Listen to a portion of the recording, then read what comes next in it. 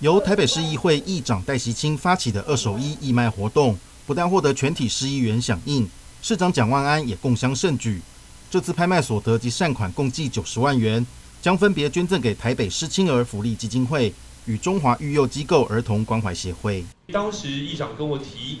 我非常乐意响应，但也有一点小小压力，因为我怕我的二手衣卖的不好，那我就有点。颜面无光，或者是说没有办法帮忙到这个公益活动，好让这个爱心善款少了一点，我觉得让我心里很紧张哦。蒋万安分享自己捐出两件中华队棒球衣，一件是第一次带着大家到台北大巨蛋开赛穿的签名球衣，另一件则是大巨蛋举办亚锦赛中韩大战当天自己穿上为中华队加油的球衣。很高兴最后拍得了五十万元，能把这份爱心捐赠给需要的机构。那我也很感动，戴习清议长，我听说他捐出了他去看五月天演唱会所穿的